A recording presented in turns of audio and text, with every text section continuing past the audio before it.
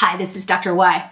Would you like to learn a skill on how to become a better listener? Well, I've got a really important skill to teach you then. And this is something that I teach a lot of my clients in terms of better communication, usually with the people that they care about and the people that are important to them. This skill is called reflecting. It's a reflection communication skill. And it's something that we have to learn. Listen, good communication doesn't just happen. We learn language as an infant. As we get older, we learn sounds and symbols and what the meaning is behind all of that. But I would tell you as an adult, we're also learning those things how to communicate better sounds, intention, intonation, and our meaning. All of those things are important when we're talking about communicating. One of the most important skills that I've had to learn as a clinician is how to actively listen. So, actively listening to someone isn't just hearing what they say, it's actually listening for understanding. Yeah, that's the difference. I want to hear what it is that they're trying to say in terms of what they mean and how they feel about that meaning versus just hearing the words.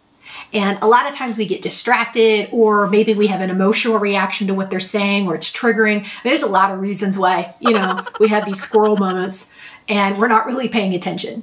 But that's not actually what I'm talking about. What I'm talking about is a precise tool called reflection that can help you become a better listener. So sometimes we get distracted or our cell phone goes off or we're looking at our phone or we're not really paying attention to what somebody else is saying. Um, this is not active listening, by the way. You might be hearing bits and pieces, but you're not really listening for understanding. And there's a difference there. So reflection can feel funny at first. You might think the other person might be annoyed for you repeating them, or maybe they're they're going to feel, you know, awkward or you're not necessarily hearing them correctly. All of those things are normal. This is a skill that you're going to have to practice, but keep doing it because over time, the quality of your conversations and the quality of your relationships is going to improve because the person on the other side is going to see that you're really trying to understand what they're trying to say. Let me give you four quick tips on how to get this done. Number one, the tone of your voice for reflection is really super important. It's really coming across with a tone of just a little bit of a question, right? So you're going to have a soft tone it's a statement. You're seeking for information, you're seeking for understanding. Did I hear you correctly? It has a little bit of a question in that tone. Now, your reflection doesn't have to be perfect. What you're doing is you're seeking clarification from them. You are parroting back what they say in your own words, and you're seeking clarification from them about what they just said. Basically, did I hear you right? Is this what you were trying to say? Number two, in a reflection, you're trying to reflect back the emotion that a person is using, even if they didn't specifically talk about emotions or they didn't clearly describe an emotion. You also may be able to pick up on how they feel by the tone of their voice or by body language. This is all part of reflection.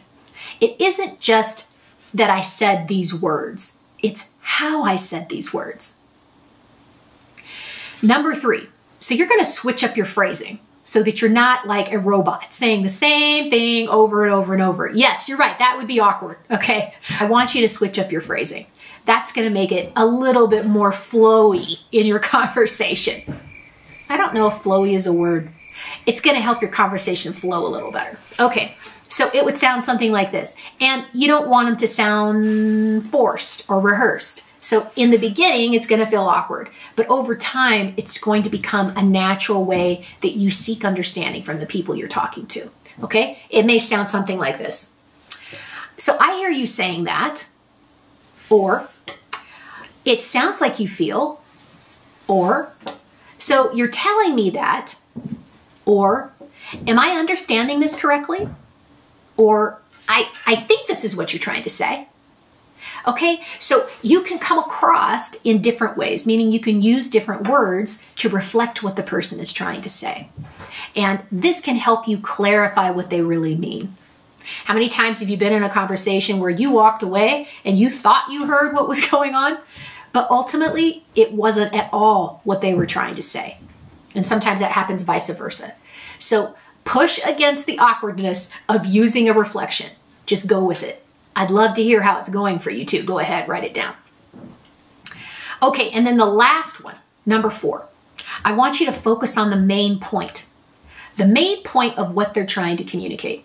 So don't worry too much about all the little details and all the residual things that they had to say. I want you to take the general gist of what the speaker has told you and reflect that back. So, this is what you're telling me, or you're telling me that, or I hear you saying that, or I understand that what you're saying is, okay, you're going to fill in the blank there. Changing the way that you communicate changes the quality of our relationships. Our relationships really are based on our ability to communicate. And a lot of the problems that people come into therapy with are based on communication mistakes or just not knowing. Sometimes we just don't know what we don't know, and that's okay. That's why you're listening to this video, right? If you like some of the stuff that I'm sharing in these videos, I am uploading stuff every single weekend. Subscribe to my channel for more.